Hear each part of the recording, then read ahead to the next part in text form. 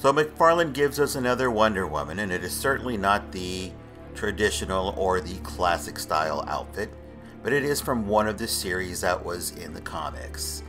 And this is the one from the Endless Winter series. Now, if you have this Build a Figure series, it's because you, well, you like the outfit on this figure, which is really well done, and it lends itself to some very, very nice paint applications. Esa es la Mujer Maravilla de la serie Endless Winter y si tienes esta figura es porque te gusta la escultura te gustó la colección de esta serie. Y con el esculpido que tiene la figura se presta para mucha, mucha atención a los detalles y la pintura que merece.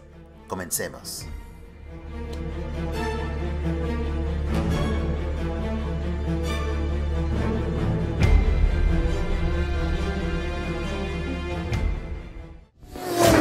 Quick reminder if you have returned to this channel, a like, a comment, and subscribe would certainly help us out.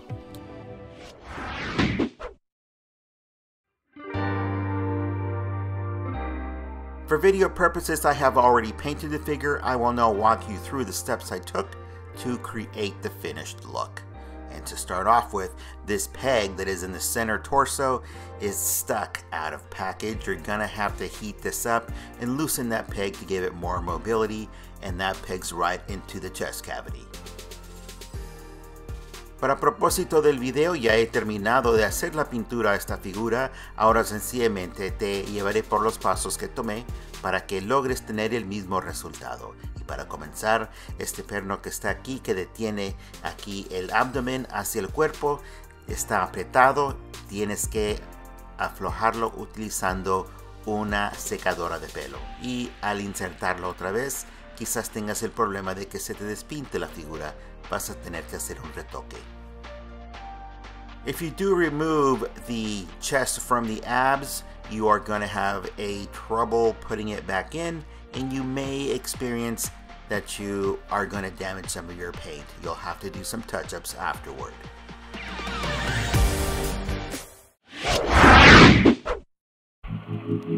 So to start off with, I did use the Liquitex as I did in the last video, but this time I used it as a primer to be able to apply the paint onto the figure. As I am not repainting the figure, I am only adding paint apps to enhance the figure.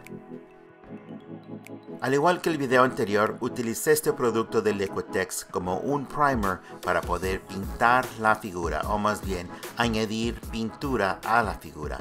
No cambié los colores, sencillamente añadí detalles.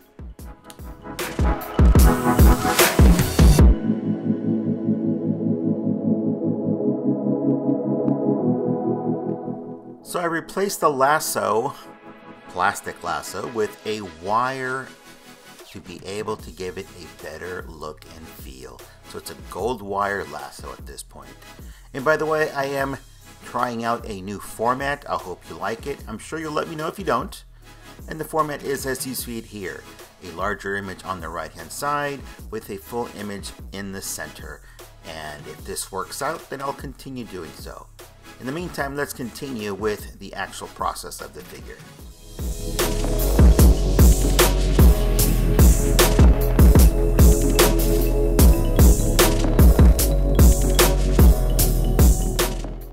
Los detalles que vemos aquí en la figura, el relieve que tiene el esculpido, son pintados a brocha seca. Los diferentes tonos son logrados también a brocha seca. No hay un aerógrafo utilizado aquí por el momento. Estoy probando un nuevo método, otro formato, con una figura grande al lado derecho y una figura incompleto al centro. Si les gusta el formato y si no les gusta, pues yo creo que ya me dejarán saber. Como vemos aquí, usamos Tamiya 24 amarillo sobre los colores amarillos y entonces al siguiente usamos Tamiya 27 sobre los tonos rojos, la armadura solamente. So if you read the caption at the bottom, I am using Tamiya X24, which is yellow, the transparent yellow, over the yellow armor. And over the red armor, I am using Tamiya X27. That's what gives it that vivid, very deep red and those deep yellows, giving the metallic look to the armor.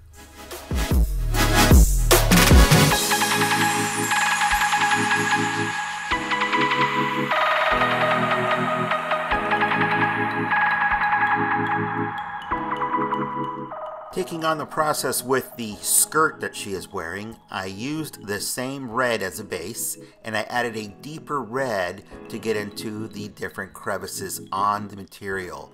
I then went back with a dry brush with a pink to give it that weathered look.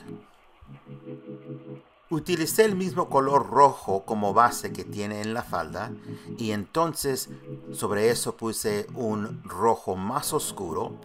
Regresé con un tono más claro, de hecho un color rosa, para darle ese uh, vista de desgasto a la falda.